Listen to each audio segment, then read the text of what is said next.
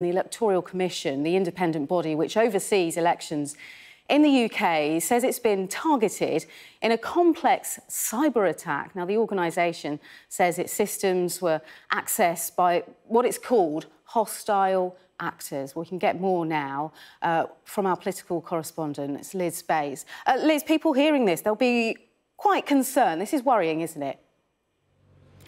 I think it is quite concerning, and as you say, we've only found out about this in the last uh, half an hour or so. The Electoral Commission, that is, of course, the body that oversees uh, elections uh, in this country and uh, monitors uh, campaign finance uh, and that type of thing. They have released a statement. I'll I'll read part of it out for you just to give you a sense of what they've said.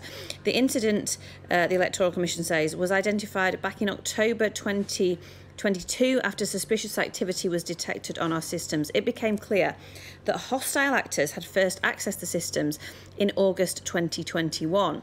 During the cyber attack, the perpetrators had access to the Commission's servers which held our email, our control systems, and copies of the electoral registers.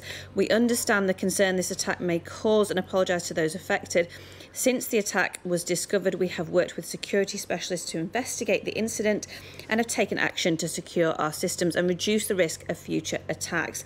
It goes on, it is our assessment that the information affected by this breach does not pose a high risk to individuals, and this notification is being given due to the high volume of personal data potentially viewed or, or removed during the cyber attack. So on the one hand, I think uh, here, the Electoral Commission uh, coming out and uh, revealing, uh, I suppose, first of all, what's happened and suggesting that they have uh, now got control of it. They say they have taken steps uh, to ensure against future cyber attacks, strengthened network login requirements, they say, improved monitoring and alert systems for active threats, and reviewed and updated firewall policies. I suppose the, the, the question that people will be asking, how much data in the end uh, were these hackers able to access? Because, of course, uh, the Electoral Commission uh, holds the electoral registers, which covers everyone uh, who is able to vote in this country and many of their personal details. And the bigger question, of course, why did this happen?